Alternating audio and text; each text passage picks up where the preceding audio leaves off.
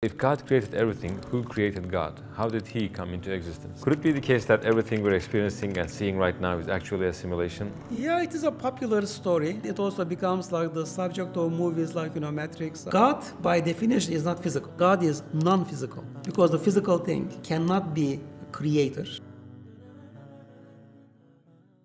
Assalamualaikum, Professor Yunus Çengel. Thank you for being with us again. This time we have some different questions that are asked by many people. This simulation theory. Could it be the case that everything we're experiencing and seeing right now is actually a simulation? Like we'll suddenly open our eyes and see that we are in something like a dream and we are arguing for nothing? Yeah, it is a popular story, and it also becomes like the subject of movies like, you know, Matrix. Um, and uh, it is intriguing. People find it uh, exciting. But I think if you think on this theory, carefully, what they are describing actually is God. That is with the ability to be able to see, manipulate, and control and have full power over the entire universe, including human beings, including everything. But since, uh, you know, um, we don't want to say God, let's say simulator, like the multiverse uh, theory. Uh, but I think the, if let's say there is such a being, and when they, let's say, put their heads together and describe that being, they will come up with what the major religions call God.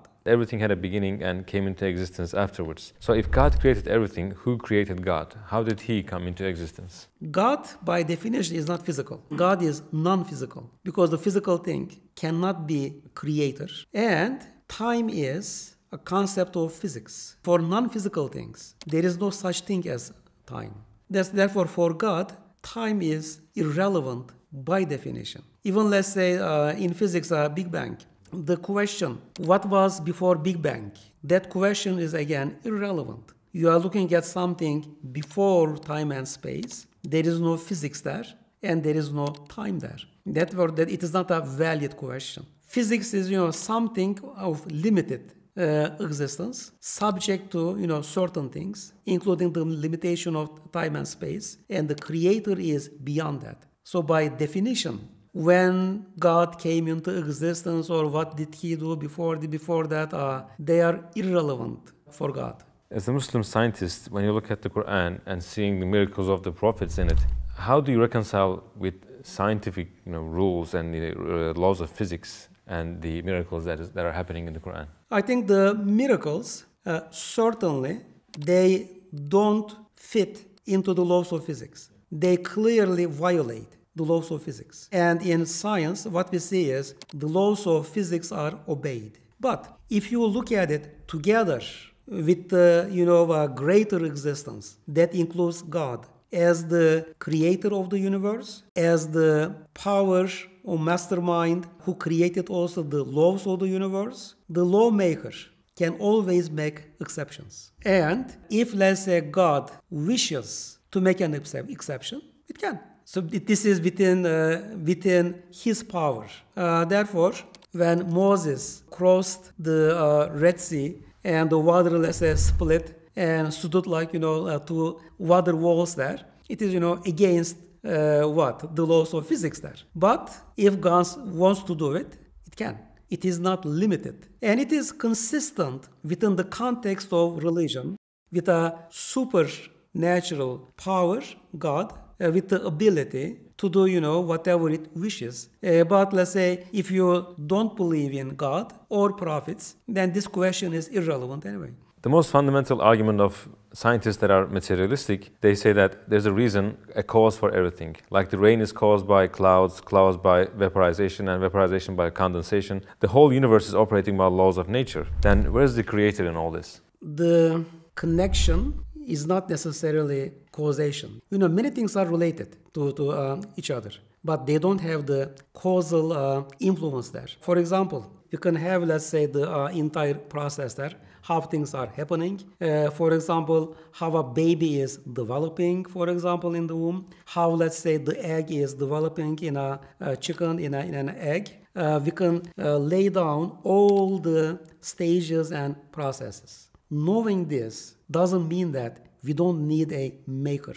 We need continual uh, involvement to make that thing working uh, properly there. The physics themselves, they are passive, they are obedient, they are manipulated, the agencies subjugate them and they cannot object. They simply do what they are influenced to do there. If let's say you have, for example, an egg, keep it in a warm place for 21 days, a chick forms inside. That is the white and yolk of the egg turns into a live chicken.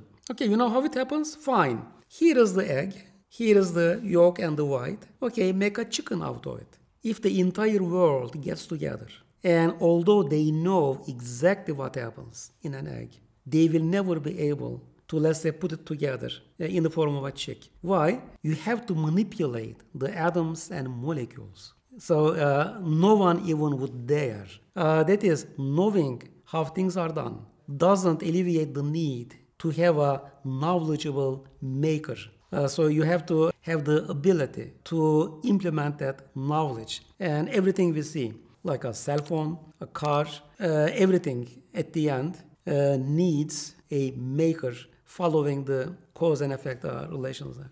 Free will is one of the things that atheists object to. Why do they have a problem with this concept and why do they not accept it, that free will exists? Because if, if they accept, then they can no longer be materialist. If, let's say, we look at the universe, there are laws. Law reflects will, even the laws in a country. If there is a, you know, healthy democracy there, the laws reflect the general will of the people. Every, everybody obeys uh, those rules. It looks like, you know, matter, okay, and energy, they obey the laws of physics. Now, uh, that means there is a universal will which uh, exhibits itself as laws of physics and implemented by the forces of physics. And in the case of human beings, I think we all feel that we can do whatever we want. If let's say I want to raise my hand right now, I will raise it. It is not like, oh, it is against the gravity or whatever. No, not the laws of physics. Uh, but since they limit the existence to material beings only, they claim without any evidence that the free will is the result of brain activity. Actually, there is no such thing. Uh, but in reality, I think we all feel that. I, I am not simply limited by my brain activity or something. If I want to do something, no matter what is going on there,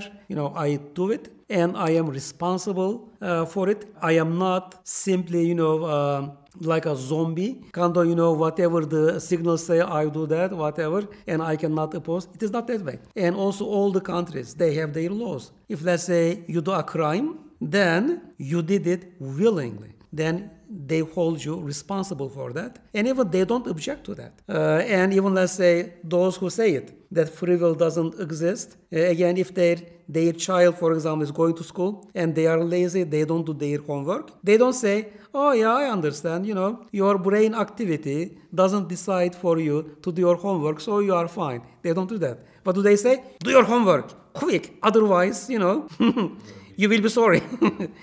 that is in our living being we exhibit, I think, our strong belief that free will is there and people are responsible. But ideologically, what they exhibit by their behavior, they simply deny what they say they believe in. Scientists that have materialistic worldview think that they can explain the wonders in living beings. For example, they name activities like a bee making honey as inner instinct. So, uh, is this a right uh, explanation or you know uh, terminology? Do you think? Certainly, we see instinct and uh, we see animals doing things that normally cannot be done by our measure. Let's say a, a mosquito, for example. Uh, when the uh, eggs, you know, hatch, uh, the mosquitoes, you know, fly away. They know what to do. They know how to fly. They know how to feed themselves, what their food is, you know, etc. So it looks like they come trained. And since typically we go to schools, we acquire knowledge. It takes a long time to uh, what master certain skills. And animals, let's say, do sophisticated things and with no apparent training. And they don't seem to be very intelligent either. Uh, but they do, you know, amazing things. Since they do amazing things, a logical conclusion is a more knowledgeable being is doing those things in them. Uh, so they say, okay, uh, so we will just say instinct. That is, uh, somehow they acquire the knowledge out of nowhere.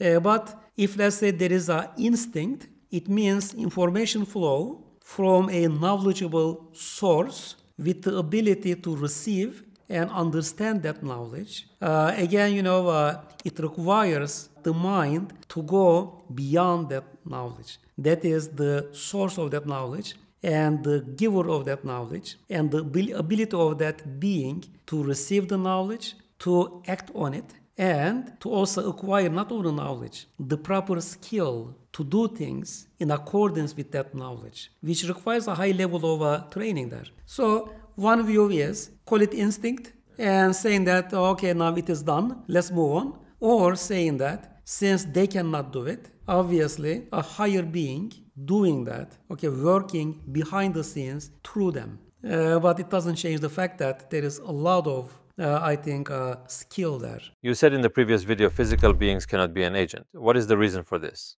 Why cannot physical beings be an agent? Okay, because uh, physical beings, by their nature, they are made of the fundamental particles, and by their nature, they are passive. They just sit there. They don't do anything. They don't influence uh, uh, other things. Uh, they react things. They don't use any uh, initiatives. Uh, so they just, you know, sit there. Agencies, on the other hand, like the agency of physics, they exert influence. For example, the law of gravity, if I, let's say, drop this, we know what will happen. Something will pull this to the ground. That is, if it will uh, influence. And what is pulling it? Is it another physical object? No. It is a force. If you go one step higher, uh, we have, let's say, life. We have a living being and non living being. When we have the agency of life, which is non physical, uh, it then, you know, takes over the physical body. Whether it's a plant, an animal, or a bacterium, or you know, just, a, let's say, human being. That is, rules the entire body.